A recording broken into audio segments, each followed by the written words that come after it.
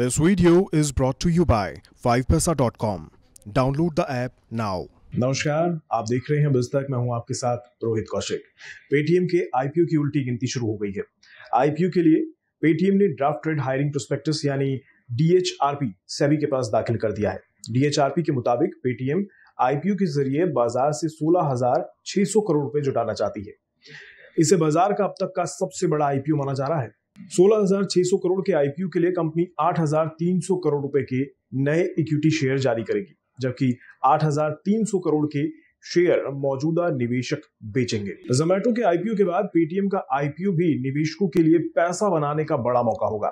जोमेटो के आईपीओ को निवेशकों की ओर से शानदार रिस्पॉन्स मिला है। जोमेटो का आईपीओ 38 गुना से ज़्यादा सब्सक्राइब हुआ है। इस वीडियो में आगे बढ़ने से पहले आपको बता दें आईपीओ के लिए अप्लाई करना अब आसान हो गया है।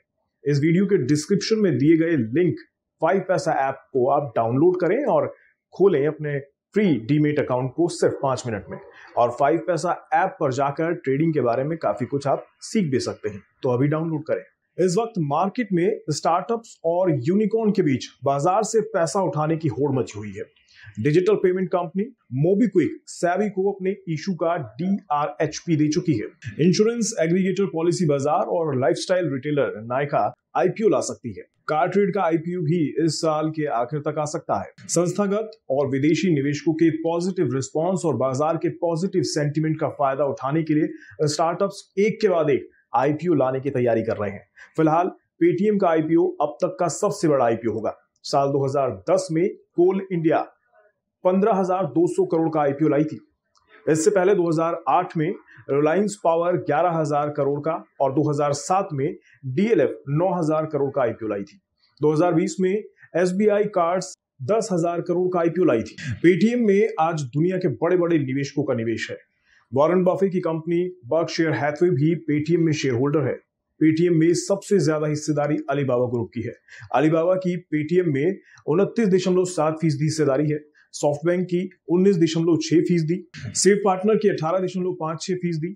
विजय शेखर शर्मा की चौदह दशमलव छह सात फ़ीसदी, जबकि एजीएच की सात दशमलव अट्ठारह फ़ीसदी और बक शेयर हैथवे की दो दशमलव सात छह फ़ीसदी और दूसरे निवेशकों की सात दशमलव चार नौ फ़ीसदी हिस्सेदारी है। आज पेटीएम देश का सबसे बड़ा फिनटेक स्टार्टअप है। पेटीएम का डिजिटल पेमेंट के अलावा banking credit card financial services health management और डिजिटल वॉलेट की सेवाएँ भी देती है। ये यूपीआई आधारित पेटीएम सर्विसेज़ भी देती है।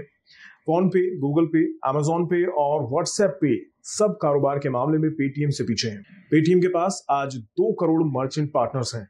पैंतीस करोड़ लोग देश में पेटीएम का इस्तेमाल करते हैं। पेटीएम के ग्राहक महीने में एक दशमलव चार अरब रुपए के ट्रांजेक्शन करते हैं। पेटीएम बैंक के देश भर में एक लाख से ज़्यादा आउटलेट्स हैं। पेटीएम की वैल्यूएशन आज दो लाख करोड़ के पार है। कुल मिलाकर निवेशकों का पेटीएम में अच्छा पैसा बन सकता है। इसके अलावा एक अच्छी बात और है, पेटीएम का नुकसान भी कम हो रहा है। कारोबारी साल 2021 में पेटीएम का लॉस घटकर 1701 करोड़ रुपए रह गया है, जबकि कारोबारी साल 2020 में कंपनी को 2942 करोड़ का नुकसान हुआ था। पेटीएम के आगे आज देश की कोई फिनटेक कंपनी टिक नहीं पाती। इसी वजह से पेटीएम का आईपीओ निवेशकों के लिए मोटी कमाई का ज़रिया हो सकती है। ऐसी ही बिज़नेस आईपीओ शेयर बाज़ार से जुड़ी खबरों के लिए देखते रहिए बिज तक और सब्सक्राइब करें लाइक करें और खबर पसंद आए तो शेयर करें। नमस्कार।